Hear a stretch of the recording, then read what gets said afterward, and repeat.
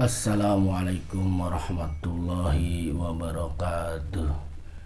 Sahabat Hidayah Media Official di mana pun Anda berada Dalam kesempatan kali ini Saya akan membahas tentang Bagaimana cara mengobati anak yang terkena sawan Atau gangguan jin maka jangan ke mana-mana, simak sampai selesai agar tidak salah paham. Karena yang akan kita sampaikan adalah sesuai tuntunan Islam dan sesuai tuntunan Nabi kita Nabi Muhammad Sallallahu Alaihi Wasallam. Baiklah, sahabat Hidayah Media Official di mana pun anda berada, tidak panjang-panjang yang akan saya sampaikan dalam kodimah ini. Kita langsung saja ke pembahasan.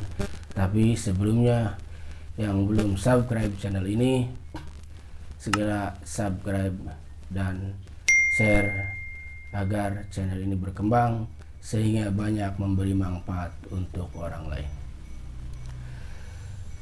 Baik pemirsa sahabat hidayah media official biasanya anak-anak kita yang terkena sawan itu biasanya karena ada gangguan jin. Dalam hal ini disebutkan dalam sebuah hadis itu namanya jin umusibian. Maka kata Nabi, janganlah anak kita ketika dalam sebuah hadis dikatakan ketika menjelang maghrib dan matahari terbenam ini tutuplah rapat-rapat pintu dan jangan biarkan anak Anda keluar rumah. Setelah ajan masjid selesai atau setelah malam ini berlalu baru boleh.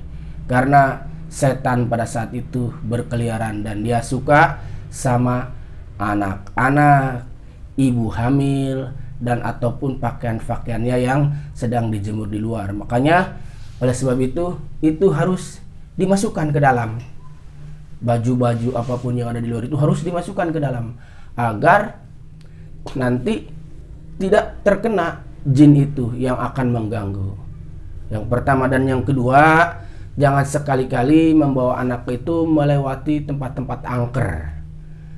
Kalaupun itu terpaksa kita melewati tempat angker, maka kita harus bawa ya seperti sunnah Nabi itu adalah garam yang sudah kita beri doa. Nanti doanya akan saya sampaikan. Dan yang ketiga, jangan sekali-kali membawa anak balita ini ke takziah atau kepada orang yang meninggal dunia. Itu jangan dibawa anak balita ini. Sangat penting sekali ini. Karena ini sering terjadi sekali di lingkungan perumahan saya dan di lingkungan yang lain juga. Ini sering terjadi di perkampungan. Setelah pulangnya, ini anak ini biasanya kena sawan. Baik sahabat media official di mana pun anda berada Kalau kita anak kita tiba-tiba pada malam hari ini menangis Menangis dilihat air matanya tidak ada Nangis dikasih susu sama ibunya tidak mau Dikasih minum dan makan juga tidak mau Diperiksa ke dokter juga ini Tidak ini tanda-tanda anak kita itu terkena sawan Atau bahasa sekarangnya itu ada jin yang masuk ke dalam tubuhnya Lalu bagaimana cara Islam mengajarkannya untuk bisa mengobatinya? Yang pertama, kita siapkan garam. Garam ini yang sudah kita kasih doa, kasih doa. Siapkan garam yang sudah kita kasih doa. Nanti doanya akan saya sampaikan di sini. Kita ambil 3 sendok, 3 sendok garam, 1 sendok sendok makan, 3 sendok, Kemudian masukkan ke dalam air hangat-hangat kuku ya, air kurang lebih segayung atau setengahnya juga boleh. Secukupnya saja. Yang hangat-hangat kuku sekitar 40 derajat Celcius. Kita aduk, jangan lupa ngaduknya mulainya ke kanan. Jangan seperti bikin kopi tapi mulainya ke kanan. Karena kata Nabi semua harus diawali dari kanan didahulukan yang kanan di kanan ngaduk terus sampai benar-benar rata garam ini sampai benar-benar larut sudah mencampur kemudian kita ambil lap atau handuk atau waslap apa aja kita celupkan ke garam tadi. Celupkan ke air itu, kita peras, kita peras. Jangan terlalu banyak, merasnya sedikit aja. Kemudian kita lapkan semua ke mukanya, semua ke kepalanya. Semua diratakan kepalanya. Dan ke sini nih, biasanya di sini tempat sini. Di sini, ini jangan lupa nih jangan sampai kelewat. Terus rata. Kalau sudah kering, masukkan lagi, kita perat lagi, kemudian kita balur semua tangannya. Balur semua tangannya. Semua sampai ke sini. Ini nih tempat sarangnya nih. Senangnya di sini nih. Kemudian yang ini dan jangan lupa dahulukan sebelah kanan. Yang ini yang ini sampai ke sini semua. Setelah itu kita air lagi, masukin air lagi, perat lagi dan kita masuk seluruh tubuhnya. Basuh ke seluruh tubuhnya, lap semua belakang depan, belakang depan semua. Dan jari-jari sebelah kanan ini kakinya itu sampai harus sampai rata, harus benar-benar rata. Harus rata, dia harus benar-benar kena semua, rata dan kaki kiri juga sama. Itu utamakan yang kanan, utamakan yang kanan. Setelah itu semua beres, setelah semua beres, lalu kita singkirkan air garam itu, kemudian kita ambil air putih, air yang bisa diminum, air matang yang bisa diminum, kemudian kita bacakan doa. Apa doanya? Sederhana. Yang biasa ulama katakan doanya yang biasa ulama amalkan itu yang pertama baca bismillah sembilan kali. Bismillahirrahmanirrahim. Bismillahirrahmanirrahim. Bismillahirrahmanirrahim sampai 9 kali. Setelah itu baca ayat kursi. Baca ayat kursi tiga kali. Allahu la ilaha illa huwal hayyul qayyum la takhuduhu sinatu wa la naum lahu ma fis samawati wa ma fil ard man dhal ladzi yasfa'u indahu illa bi izni ya'lamu ma baina aydihim wa ma khalfahum wa la yuhituna bi shay'in min ilmihi illa bima syaa wasi'a kursiyu samawati wal ard wala yaudu hifdhuhuma huwal aliyul azim. Itu baca tiga kali. Kemudian setelah itu kita minumkan airnya ke bayi yang kena sawan tadi.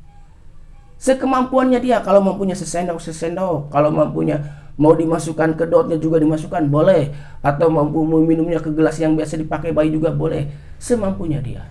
Insya Allah atas izin Allah ini anak ini akan sembuh daripada sawan.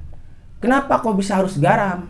Karena kata Nabi, garam ini bisa menjadi obat 70 macam penyakit. Di antaranya adalah liver, kusta dan gila dan salah satunya itu dari 70 itu ada di situ. Dan karena kita kehilangan akal, kita sama dengan gila. Oleh karenanya kata Nabi ketika kita mau makan mulailah dengan garam dan diakhiri dengan garam. Karena garam akan mengobati 70 macam penyakit. Begitu garam. Nah, sekarang bagaimana kita membacakan garam ini agar menjadi doa. Kita siapkan garam, garam ini siapkan dan ini selalu disimpan di dalam rumah. Bagi yang punya bayi ini selalu disimpan dalam rumah. Dan kita bacakan doa ini. Garam yang sudah kebuka, ininya kita bacakan doa.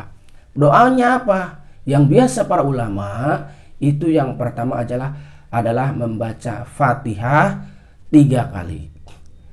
Kemudian Qul huwallahu ahad atau surat Al-Ikhlas tiga kali. Kemudian Qul a'udzu birabbil falak atau surat Falak tiga kali. Kemudian surat An-Nas atau Qul a'udzu birabbinas tiga kali. Setelah itu baca ayat kursi tiga kali. Kita tiupkan ke garam. Kita tiupkan. Setelah itu kita simpan. Simpan. Nanti sewaktu-waktu kita butuh. Kalau kita terpaksa harus lewat ke tempat angker. Kalau kita terpaksa maka bawa garam ini. Biar dicicipi sama anak kita. Sedikit dicicipi. Insya Allah nanti anak kita sudah kebal dari berbagai macam penyakit. Begitulah Islam. Para saudara-saudaraku semua, Islam itu mengajarkan sampai sedetil itu kepada kita. Mudah-mudahan ini bisa bermanfaat buat kita semua dan mudah-mudahan kita yang punya bayi, yang punya balita bisa menjaganya dengan baik dan benar sesuai tuntunan Nabi kita Nabi Muhammad sallallahu alaihi wasallam. Kalau ada yang belum paham, maka silahkan tulis di komentar. Demikian yang bisa saya sampaikan. Mudah-mudahan ada manfaatnya. Akhirul kalam. Wassalamualaikum warahmatullahi